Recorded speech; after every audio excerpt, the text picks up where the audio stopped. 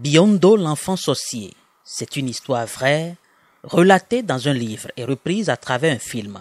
À 30 ans, Kossi est nommé préfet d'un département où il a vu le jour et qui devrait en même temps être témoin de sa mort.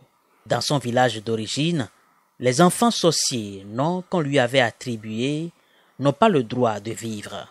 Mais grâce aux religieuses et autres généreux, Kossi fut adopté et grandit dans une nouvelle famille à l'abri de tout besoin.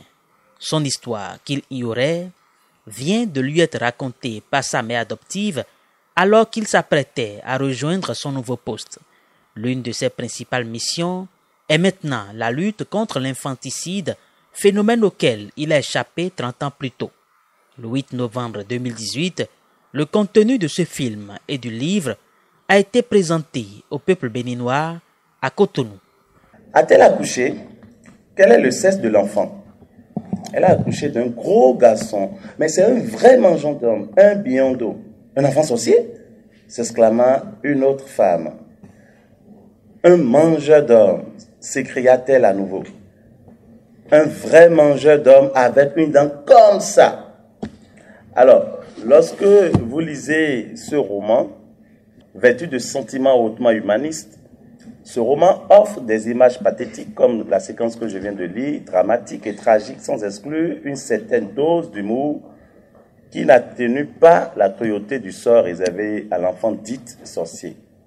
Le roman, réparti en quatre parties au chapitre inégaux, se lit dans une langue élégante, délestée de toute circonlocution à dessein pour toucher la sensibilité profonde du lecteur averti à la cause de l'enfance. Alors, le phénomène des enfants sorciers et la mutilation génitale féminine trouve dans ce roman une unité car on ne saurait détacher la condition de l'enfant de la condition féminine.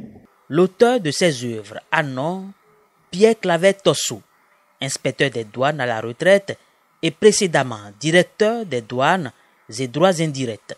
Son livre Biondo, l'enfant sorcier, édité par les éditions Wediza, et le film réalisé par Prince Jobi et dans lequel ont joué des acteurs béninois ont reçu les félicitations de l'autorité ministérielle.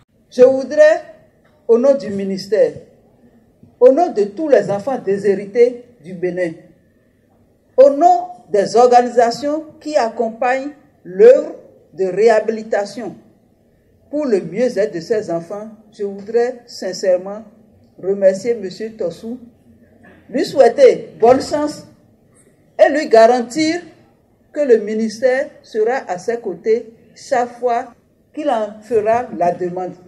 En mettant ses œuvres sur le marché, l'objectif de l'auteur est bien défini. L'enfant d'hier est l'adulte d'aujourd'hui. Et c'est l'enfant qui fait l'humanité. Si nous tuons un enfant, nous aurons tué l'humanité. Notre objectif c'est de contribuer à l'éradication progressive de l'infanticide. Ceux qui s'adonnent à ces pratiques ne sont pas forcément méchants à la base. Ils ne savent pas qu'il ne faut pas tuer ces enfants parce que depuis des temps anciens, on leur a appris à les tuer parce qu'ils sont désignés comme sorciers. Il faudrait donc qu'on arrête. La lutte ne peut pas être faite par une seule personne, non, pas par un seul organisme. C'est une lutte qui concerne tout le monde. Cette lutte continue et à court terme passera par des projections du film dans des zones reculées du Bénin, des séances de lecture et des jeux concours à l'endroit des plus jeunes.